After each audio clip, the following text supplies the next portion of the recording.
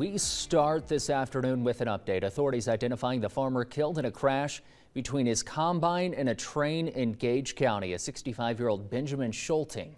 He is from Louisville. Nebraska State Patrol says his combine and a train carrying coal collided at a rail crossing southeast of Firth. Now, Schulting died at the scene. Right now, a few other details are clear from that crash yesterday. Be sure to stick with us for updates as we get them.